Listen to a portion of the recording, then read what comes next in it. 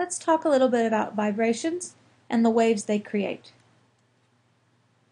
There are two types of waves. They can have a mechanical wave or an electromagnetic wave. Mechanical waves have to have a medium to travel through. The medium can be air, can be water, it can be a string or a spring. And these mechanical waves transmit energy through the particles of the medium. So the particles of the air bump into each other, which bumps the next one, which bumps the next one.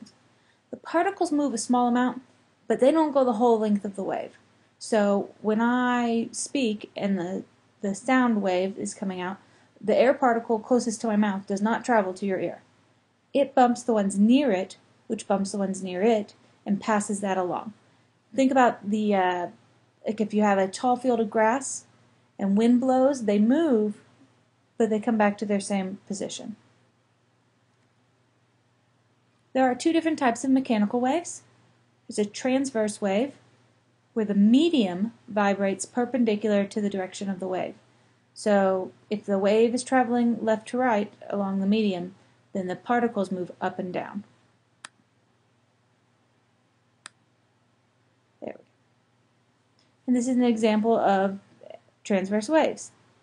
This low point is called the trough. The high point is called the crest. The amplitude is how much it moves off of its rest point. And the wavelength is the length of one whole wave. So from one trough to another, or from one crest to another, it'll be the same value. The other type of mechanical wave is a longitudinal wave. In a longitudinal wave, the particles vibrate in the same direction of the wave motion.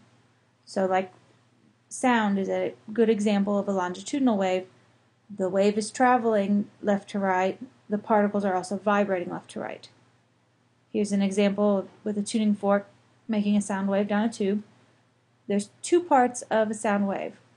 You've got the compressions, which is where the particles are really close together, and the rarefactions, the particles are really far apart. You also still have wavelength, which is the length of one whole wave, so one compression to another, or one rarefaction to another. You can have amplitude, it's a change in the density, but we typically don't measure it in longitudinal waves. Let's watch this video to see examples of both types of wave. In the transverse wave, the particles of the medium, in this case the slinky, move in a direction perpendicular to the motion of the wave. So if I make a wave, the wave itself is moving left to right, but the particles in the medium are moving up and down.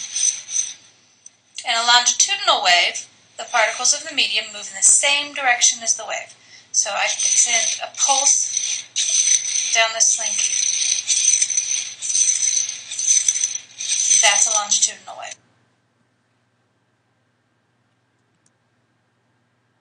There's also surface waves. And these are waves on the surface of water.